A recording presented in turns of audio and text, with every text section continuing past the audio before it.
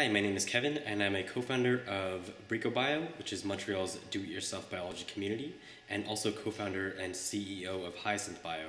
which is a company that is looking at making therapeutics cheaper to manufacture. The Bento Lab is really interesting in two scenarios. One is when I'm giving presentations or talking about do-it-yourself biology, it's really important to show what a biology lab looks like. And so instead of just putting up a slide on a presentation or something like that to show this is what a lab is or this is what a PCR machine is, instead I can reach into my bag and pull out the Bento Lab, which is just these three perfect tools that demonstrate what uh, a lot of biologists will do. Um, and the other really important scenario is uh, when you're starting out a new lab, which is just like when we're starting out BricoBio, it fills the need for a PCR machine, a centrifuge, and a gel electrophoresis. Um, so if you're starting a lab that's maybe in a garage, in a classroom, in your closet,